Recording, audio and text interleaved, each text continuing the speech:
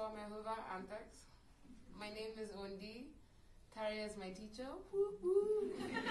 Uh, this is a song I call I wrote called In Indifference. I forgot for one second what it was called. It's called Indifference. And uh, yeah, enjoy.